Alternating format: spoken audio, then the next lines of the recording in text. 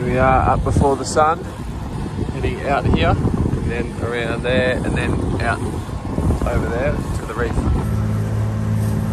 We're about two hours into our trip. We're averaging about between five and six knots, Yep.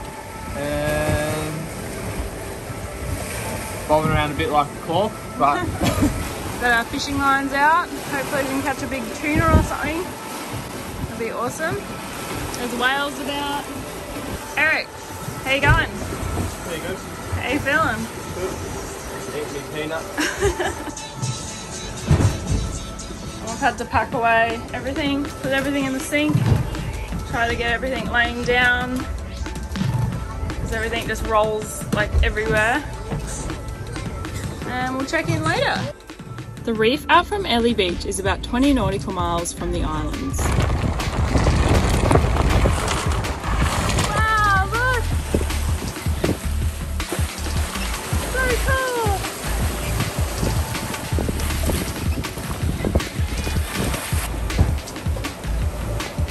Good job, Chuck, cleaning up the stew. Thanks. it's usually what I do whenever we're going in Rossies.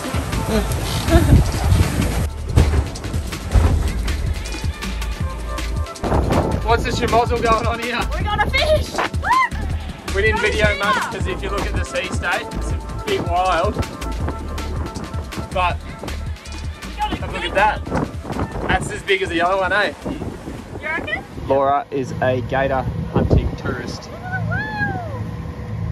So we're just going into Hook Reef and Laura's on Bommie watch. The whale just over there. We just pulled a tuna into the boat. Things are calm, things are good.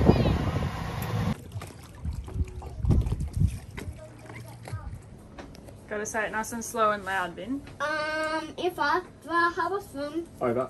over. How go down in by seven seven.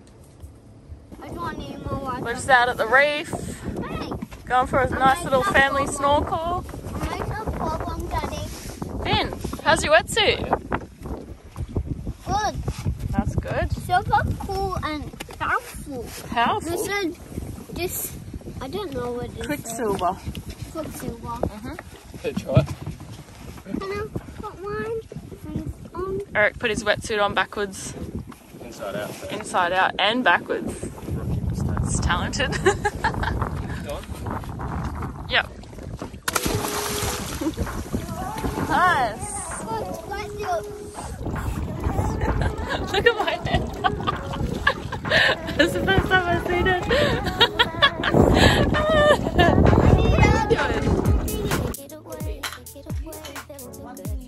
All three boats that were at the reef combined their fishing efforts for the day and had a communal dinner on our boat.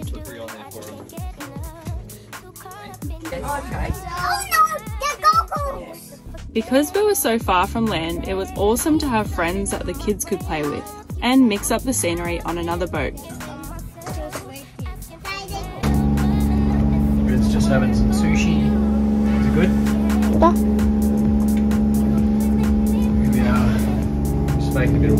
Bit. It's the noise and just down the reef. Winds oh, maybe 10 knots. Maybe just over. And Laura and Eric have gone out there fishing somewhere. Anyway, sun's out. It's a, it's a nice day. Looking! Looking! Standing up and looking. Yeah, you're gaining on it. We got the leader here. Shark in it. Big shiny. Oh no, it's a trevally. Oh No, no! Oh, oh! What is that? We Looks think very it's similar, a hey? sweet lip. It's the same shape as a sweet lip. Careful, Ren. Hey. What have we got here? Sweet lip. Oh.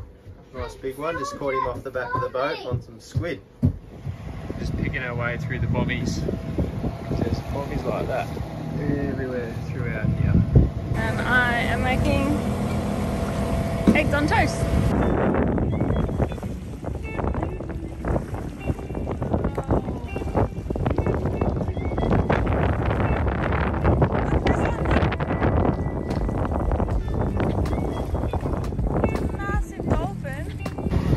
Just going out the mouth of the out the mouth of the reef going against the tide, I think, at the moment. The tide's going out, but it's a little bit choppy. Doing nearly seven knots with the current. It's choppy, choppy. Any more wind than that, this would be wild. So what's been happening? Well, we went out to the reef for four days and it was very nice. Did you like it? Yeah, it's good. What did we catch? We caught a tuna on the way, and then pretty much nothing else. And we then went spear fishing, but I we're shot not very good at spear fishing yet. I shot something and it got away. Just like swam off the spear. Dion shot Three things of- and they got away. a couple of things. And whales out here, dolphins, crystal clear water. Still a bit cold though. Need it to be about five to ten degrees warmer, I reckon. and now we're just motor sailing back mm-hmm. and making water.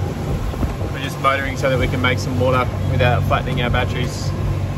yeah. Because I think there's something wrong with our battery counter. But anyway, that will remain to be seen. Yeah. Over now.